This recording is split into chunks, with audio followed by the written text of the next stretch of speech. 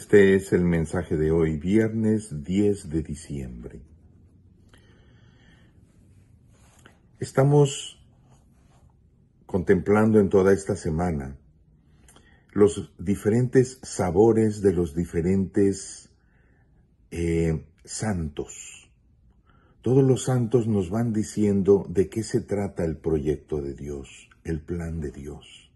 Qué importante es que yo sepa el plan de Dios que yo vea en ese pequeño niño por nacer que celebramos en Navidad y que ya vino hace dos mil años, que veamos todo lo que ese niño ha hecho a través de dos mil años, toda la iglesia, todos los santos que nos iluminan con luces de infinitos colores.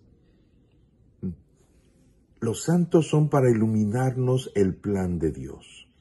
No es para eh, darnos nuestros caprichos. No tenemos que utilizarlo supersticiosamente para que yo me salga con la mía, para que me cumplan mis deseos. No, el plan, el plan de Dios es uno solo. Y los santos solamente a eso me van a ayudar, porque no hay nada mejor que seguir el plan de Dios. Entonces es bueno que nos preguntemos, ¿soy caprichoso o sigo el plan de Dios. Vean cómo el Evangelio de hoy dice, criticaban a San Juan porque era muy austero y criticaban a Jesús porque entraba a platicar con la gente y comía y bebía con ellos.